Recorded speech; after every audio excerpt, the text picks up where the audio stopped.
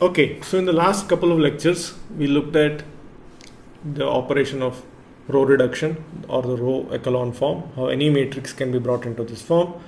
And then we also looked at the concept of a rank of a matrix, right?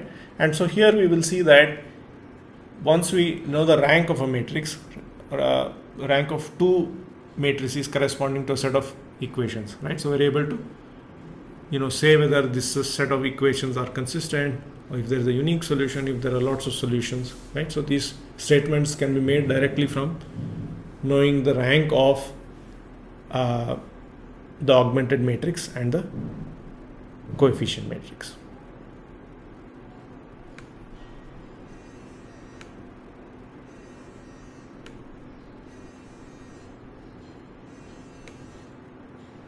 Okay, so let's just give it out as a rule, right? So the rule is simply that if you have a system of m equations in n unknowns, so you have m rows and n columns, right? So you, you write down all the equations as different rows, and so you have and a has one extra column, right? So these are the you know numbers which appear on the rightmost end.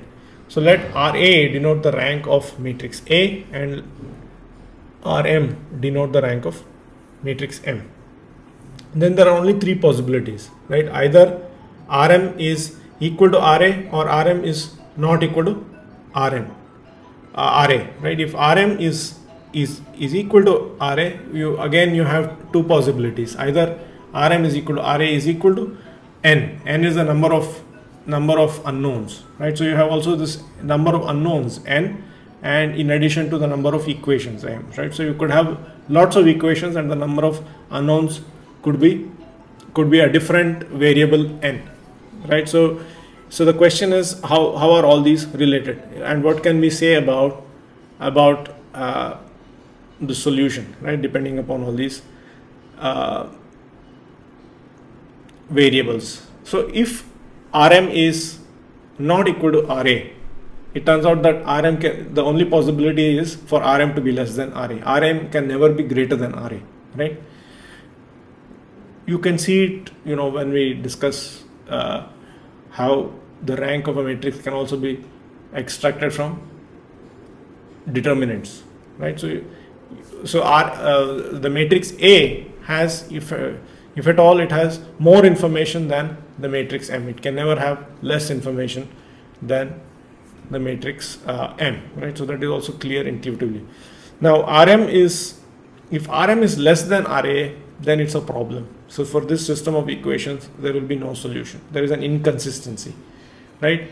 Only if the rank of Rm, the uh, rank of M is equal to rank of A, only then are your system of equations consistent. Now if Rm is equal to Ra and also equal to N, the number of unknowns, then not only are they consistent, but there is a unique solution. There is just one precise solution. But on the other hand, if Rm is equal to Ra is equal to some R which is less than N, then R unknowns can be found in terms of the remaining N minus R unknowns, right? So this is the theory, right? So now it can happen that you may have actually like a ton of equations, right? So I mean, why why would we want some very systematic approach like this? It's essential if you're trying to put them on a computer, right?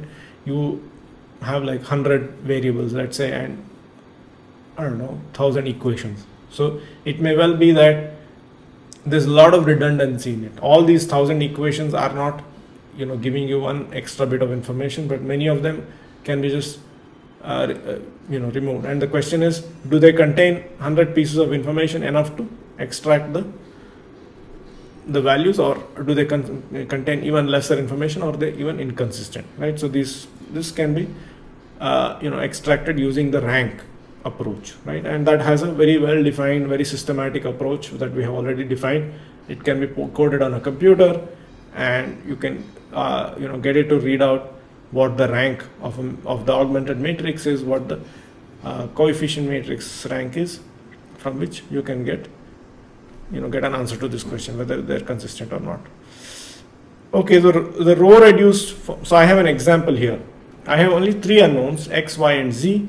but I have four equations. So we might think that, oh, surely this should be solvable, right? But you know, the test for such a case is, of course, to go for the, you must look at the rank of these, the two matrices involved. Only after that can you make a statement on whether they have inf enough information to solve for x, y, and z, or they don't have inf inf information, or they have inconsistent information. So in this case, it turns out, again, I am not doing the elaborate procedure. I have given you, you know, the method, and I expect you to work this out.